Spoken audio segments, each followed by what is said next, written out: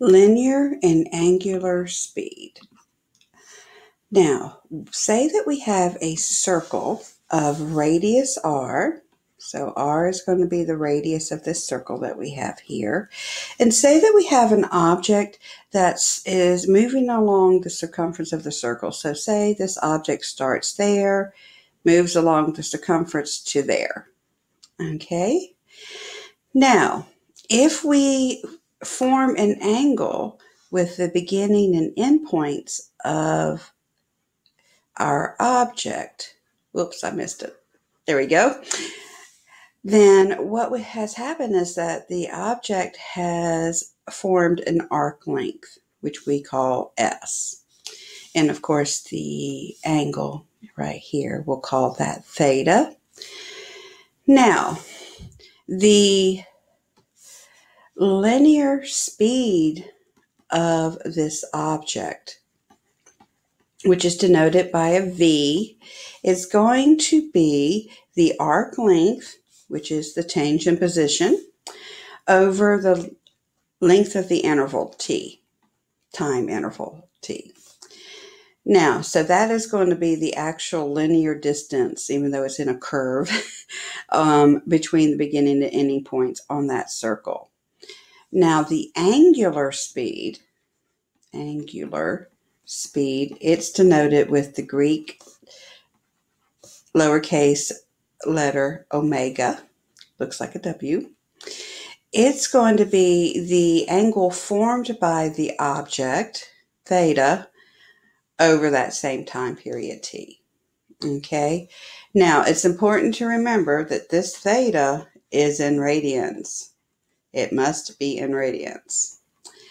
Now, the relationship between these two quantities, and there is a nice simple relationship, is that your linear speed is going to be the radius of the circle r times your omega. So let's look at a few examples.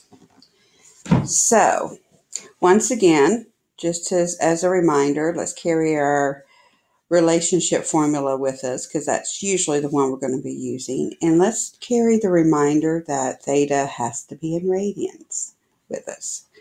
And let's look at this example. A 45 RPM record has an angular speed of 45 revolutions per minute, also known as RPMs, but I don't want to use R since R is our radius. Now, that is not in radians. So to convert it, we're going to take 45 and one circumference of the circle is 2 pi. So we've done 45, so we're going to say 45 times 2 pi is 90 pi radians. This is radians per minute, by the way. Okay. Now, Find the linear speed in inches per minute at the point where the needle is two inches from the record center. So R is two inches. And so our linear speed velocity, which is R times omega again, is 2 times 90 pi. So exact answer is 180 pi inches per minute. Now, if you want the decimal of that, you'll have to choose where to round. I'll say the first decimal place. So put that into your calculator and you can get 565.5 inches per minute. Okay. Now, let's go to the next example. This one is a Ferris wheel has a radius of 10 meters. So R is 10 meters. And the wheel is rotating at 1.75 rotations per minute. Anything that's rotating, you can call it omega. So that's 1.75 revolutions or rotations is the same thing per minute.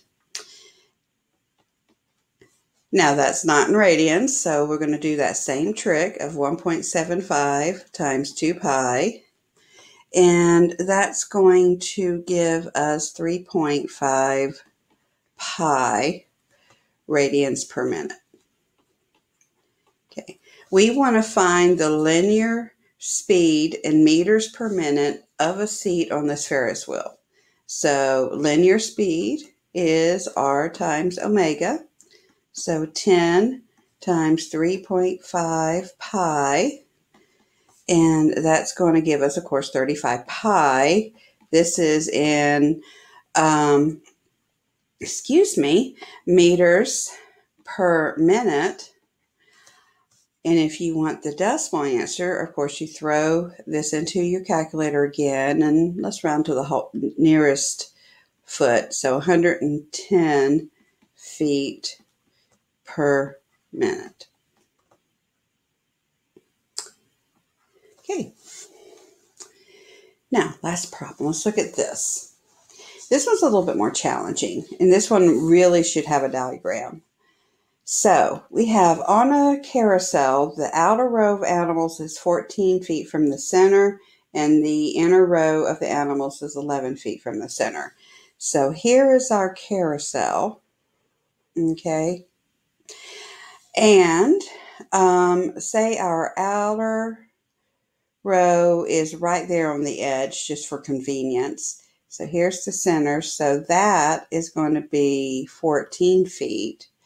And then we have an inner row, say right there. And then from the center to there is going to be 11 feet. I obviously did not draw to scale. okay. Now, our carousel is rotating, so omega, at 2.2 revolutions per minute. Okay. And let's just go ahead and change that into radians. So 2.2 times 2 pi, of course, is 4.4 pi. And what we want to do is what is the difference in feet per minute in the linear speeds of the animals in the outer and inner rows? Round to the tenth of a foot per minute. Okay, so what we need to do for our outer Okay. Our outer has a radius of 14 feet. And so the linear speed, how about we'll call that VO for V outer, is going to be 14 times 4.4, which is 48. Nope, no, it's 61. Excuse me, I picked up the wrong number. Easy to fix is uh, 61.6 pi. We will not take it any further than that right now in decimals. Now, our inner row of animals has a radius of 11 feet, so VI for inner is going to be 11 times 4.4. Oops, I forgot the pi up there. I sure did. Let's put that in real fast, guys. You can't forget the pi. Okay. And when you do that calculation, you get 48.4, which is what I tried to write before. Okay. Now, so there is the separate linear speeds, and we want to know the difference. So the difference, of course, difference means subtraction, and we want a positive number here. So we're going to take the larger 61.6 pi minus the smaller 48.4 pi.